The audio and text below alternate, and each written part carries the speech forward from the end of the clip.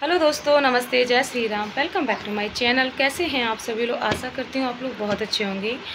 तो दोस्तों, दो चार दिन बाद जन्माष्टमी आने वाली है और मैं आज बनाने जा रही हूँ लड्डू गोपाल की ड्रेस। तो सोचा कि आप लोगों को भी दिखा देते हैं कि लड्डू गोपाल की ड्रेस कैसे बनाते हैं। और जिस तरीके से मैं बनाती हूँ, बिल्कुल आसान तरीका है, बिल्कुल ईजी तरीका है। आप भी बना सकते हैं। तो चलिए फिर वीडियो को स्टार्ट करते हैं। बने रहिए वीडियो में। तो दोस्तों ये है फैब्रिक जिसकी मैं लड्डू गोपाल की ड्रेस बनाने वाली हूँ। ये फैब्रिक मेरे पास काफ़ी टाइम पहले से रखा था काफ़ी सुंदर लग रहा था इसलिए मैंने सोचा इसी की ड्रेस बनाते हैं। और ड्रेस बनने के बाद काफ़ी सुंदर भी लग रही थी आप लोग वीडियो एंड तक ज़रूर देखिएगा।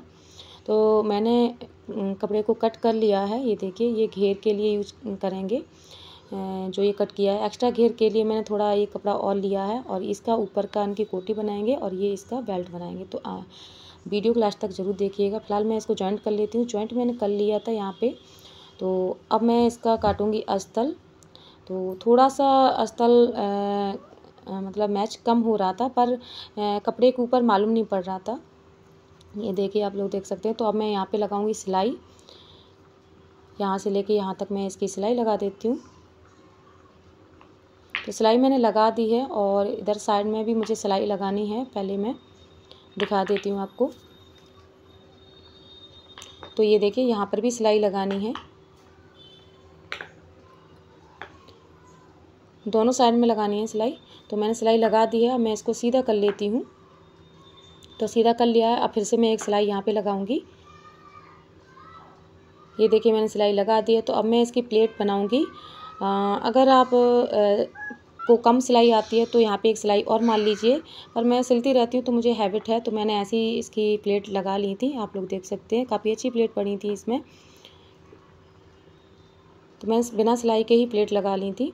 तो अब ये बेल्ट मैंने बना ली थी, सॉरी मैं दिखाना आपको भूल गई थी। इसमें भी मैंने अस्तर का यूज़ किया है, आप देख सकते हैं ये। तो ये ऊपर के लिए उनके जो ऊपर की कोटी होती है, मैं इसी में अटैच करके बनाऊँगी। तो यहाँ से नाप से इनका बना देती हूँ। यहाँ तक सिलाई लगानी है, वही मैं दिखा रही थी।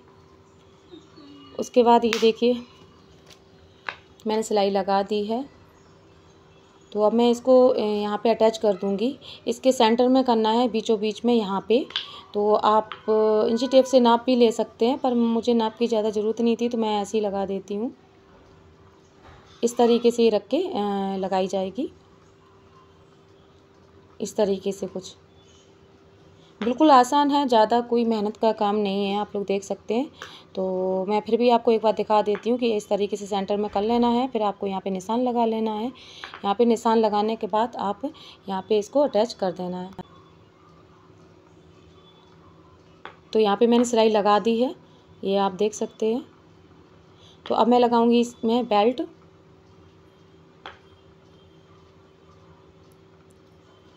तो मैं इसकी बेल्ट लगाऊँगी और इसी में मैं तनी निकाल दूँगी जिससे कि इसे मैं बांधूँ, नाड़ा नहीं डालूँगी इसमें।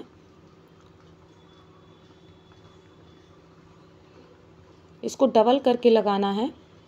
मैं आपको इसलिए दिखा रही थी ये बार बार कि जिससे आपको आसानी से पता चल जाए, ज़्यादा दिक्कत ना हो इसलिए।